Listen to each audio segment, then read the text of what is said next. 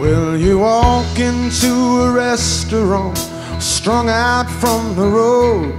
And you feel the eyes upon you as you're shaking off the cold. You pretend it doesn't bother.